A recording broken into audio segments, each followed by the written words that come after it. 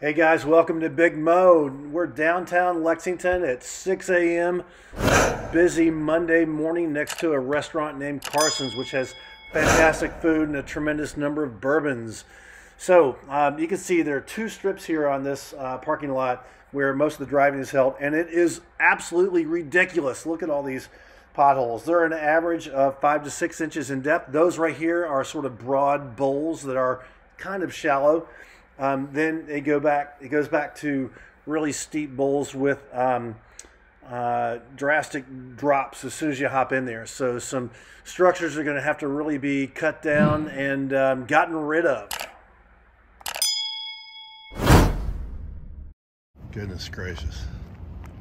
That's for sure. So I'm going to use my Ventrac 4500Z tractor.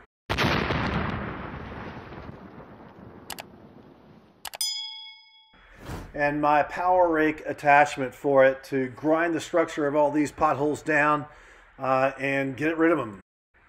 Then re-level everything. And here's a, that was a quick shot. Here's the video uh, that shows as you uh, go all the way down um, this first portion of the job, which is really about two thirds of the job.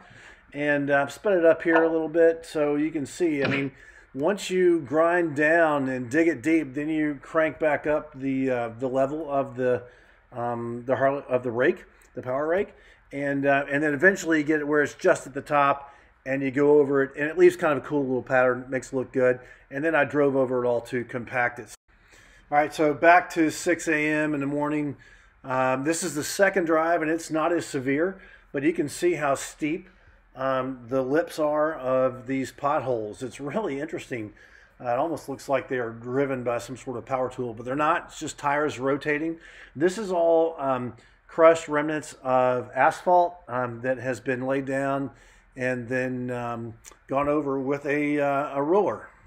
So here are a few still shots of what those potholes look like on this second drive. And as you can see my Toyota Tundra in the background for an idea of scale. And then here's a shot of about halfway through, and this is the completed shot. This is the second drive right there, and over there is the first. This one is the second. It's now about 8 a.m., and there's a tremendous amount of traffic and noise going by. So I um, recut the audio here. This is a good shot of my Ventrac 4500Z. It's a 2019 demo model, had every available option on it. That is the uh, Ventrac Power Rake, which I bought for 6,500 bucks.